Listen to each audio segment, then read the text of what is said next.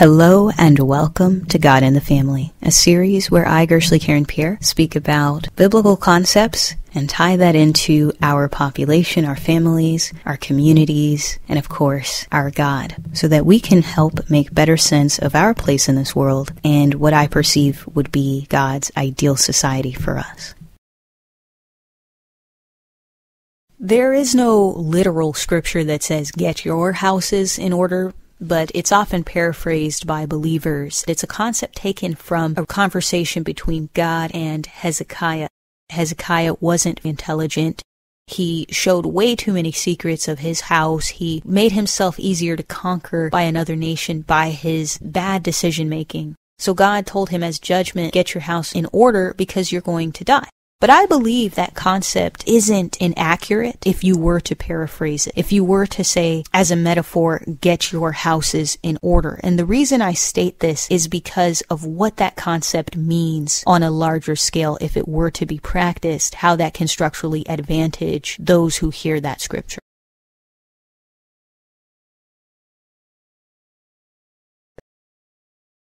I'm going to look at that scripture from a leveled and not just contextual format. I'm actually going to take it and paraphrase it, have it be relevant to a larger storyline, a larger truth that on an individual level and collective level can be attainable.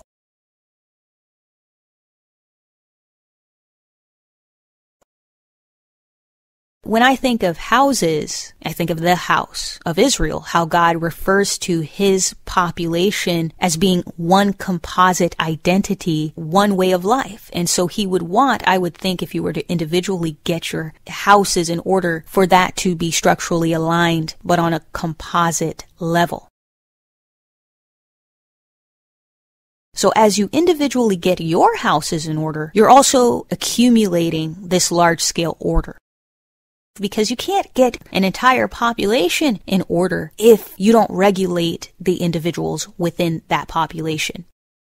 Which leads me to the concept of domestic versus large scale.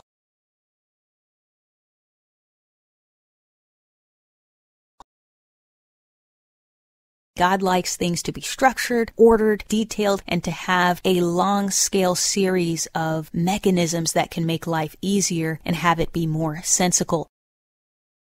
And aligning this get your houses in order concept to his people, there has to be structure. There has to be regulating human behavior. There has to be a way to tend to humans as resources so they could be more viable options as a resource to another person who could potentially create family with them. There has to be a way to make people not just exist, but make life around them easier in the ways that we choose to exist. Make this life more habitable for pair bonding, reproduction, like he says, he knows the plans he has for us. He wants to give you an expected end.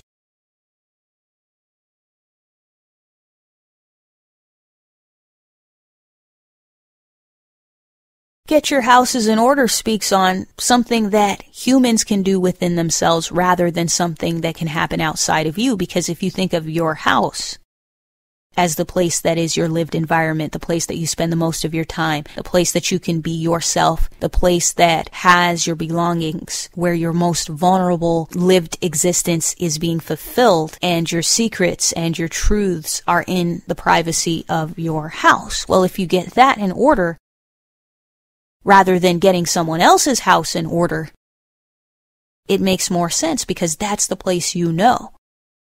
If you go to someone's house and quote, get it in order, you'd have to learn where everything is. You're not as familiar with the environment. You don't know the functions of that lived environment. But your house, which belongs to you and is the closest to you, that's the place that you understand the most. Now, applying that get your houses in order standard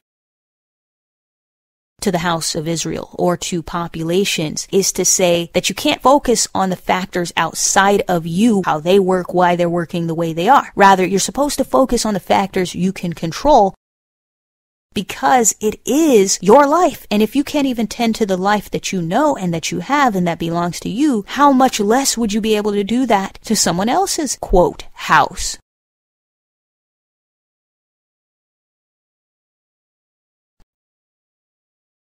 He never told Israel to care about what the other nations think. He never told them to change how the other nations think.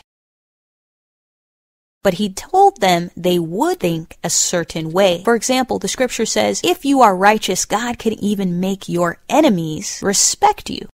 It's to say that if you're so regulated, if you're so structured, that even if someone were to hate you, they would ultimately respect you because your behaviors were in a right standing of God's order. But if you are already hated, it's not to say that God did not tell his people they would be hated. It's to say he did not tell them how to change that because all he wanted them to fulfill was to fix the patterns of behavior within themselves. And them failing to do that is what led to their judgment.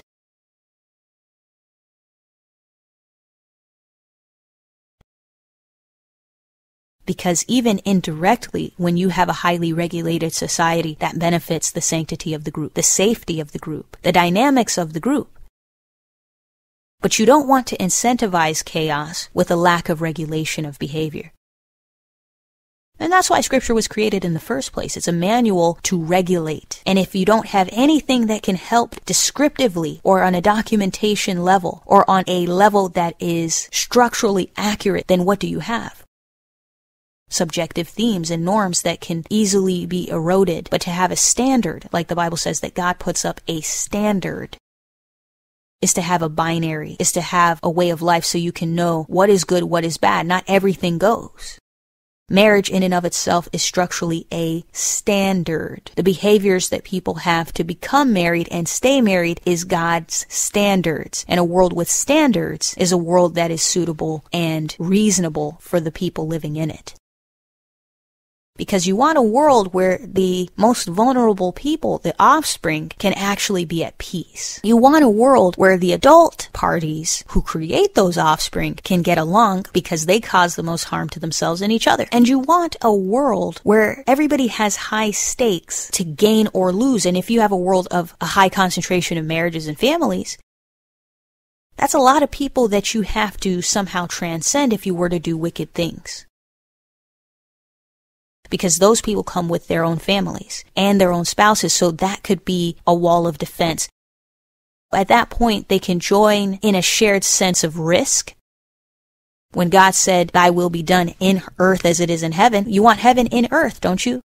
You don't want hell in earth. We have hell in earth in many of our environments because there's no regulation, there's no standards, nothing to procure the population in a functional way.